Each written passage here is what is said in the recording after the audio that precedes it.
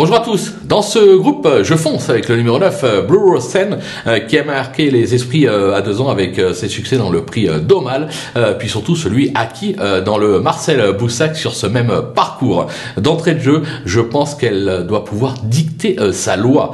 Elle devrait toutefois redouter le numéro 8, Al Golia, qui se présente ici invaincue en deux sorties. Elle a vraiment fait un championne. dernièrement, dans une classe 2, c'était sur l'hippodrome de Saint-Cloud. Alors oui, elle monte de mais c'est la suite logique de son programme. Et si André Fabre la présente, ce qui la juge compétitif à ce niveau, on peut lui faire confiance. Ne la sous-estimez pas. Maintenant, c'est à vous de jouer. N'oubliez pas de liker, de vous abonner à la chaîne et on se retrouve tout de suite pour un nouveau côté cote dans la sixième.